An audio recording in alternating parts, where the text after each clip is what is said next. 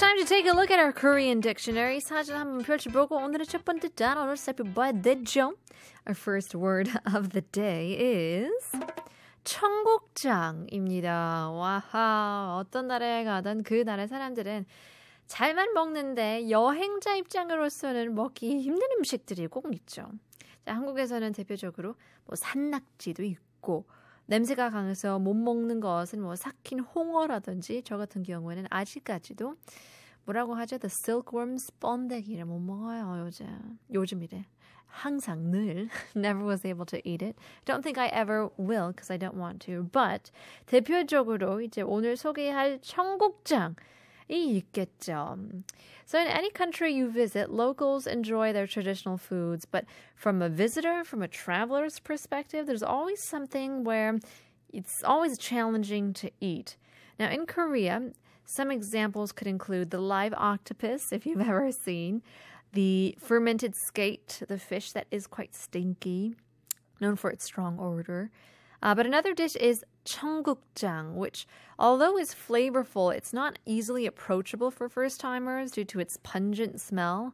뭐 맛이야 있지만 냄새가 고약해서 처음 맛을 들이기는 쉽지 않은 음식이죠. We would call it an acquired taste. It's definitely a level up from 된장찌개. 근데 또 청국장과 된장의 차이가 뭔지 잘 모르시는 분들이 은근히 있답니다. 이제 콩으로 만든 메주를 오랜 시간 소금물에 숙성시킨 뒤 간장을 부어 반죽한 것이 된장입니다. Now, so for those who don't know the difference between 청국장 and 된장, 된장 is made by fermenting meju, which is made from beans, in a saltwater solution for a long time, and then adding soy sauce in the mixture. 자, 반면 청국장은 콩을 뜨거운 물에 푹 삶은 뒤 어, 볏짚에 넣어 더운 방에서 발효시키긴 해요. 그래서 단기간에 만든 것이죠. On the other hand, 청국장 is made by boiling the beans thoroughly in hot water and then fermenting them in like a straw bed in a warm room, resulting in a shorter uh, fermentation period. 근데 이 청국장의 기원은 꽤 오래되었다고 하는데요. The origin of 청국장 dates back quite a while. 청국장의 청을 보면 푸를 청이라는 한자어로 쓰는데요. The word 청 in 청국장 uh, uses the Chinese character to mean blue or, or green, 청. 청국장이 음, 파랄, 어, 파랄리는 없으니 어, 색깔과 관련 것은 아니겠죠. 옛날 중국 청나라에서 들어왔다고 해서 이렇게 불린다고 하는데요. 1600 년대 청나라가 한국으로 쳐들어왔고 이때 청나라 군인들이 먹었다고 해서 청나라의 장, 청국장이라고 부른 거죠. Now, obviously, it doesn't have to refer to the cover, color, excuse me, because 청국장 is neither green or blue, but instead, it's believed that 청국장 was introduced to Korea from the Chang dynasty of China. In the 1600s, when the Chang dynasty invaded Korea, the invading soldiers brought this dish with them, leading to its name. So from the Chang dynasty, we get a 청국장.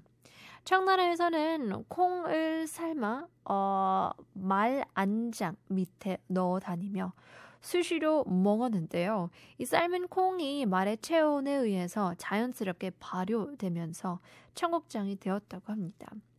And so, how this happened was in the Cheng Dynasty, soldiers would boil soybeans and then place them under the horse's saddle. So, the heat from the horse would naturally ferment the beans, turning them into 청국장. I always want to know every time I hear these types of stories was it on accident or was it on purpose? Like, who knew that this could become a delicacy as it is known today, right? 비록 냄새는 고약하긴 하지만 고혈압 예방, 뭐 항암, 음, 빈혈 예방 등 많은 좋은 효능이 있다고 하니까요. 한번 들어보시면 이제 좋을 것 같습니다.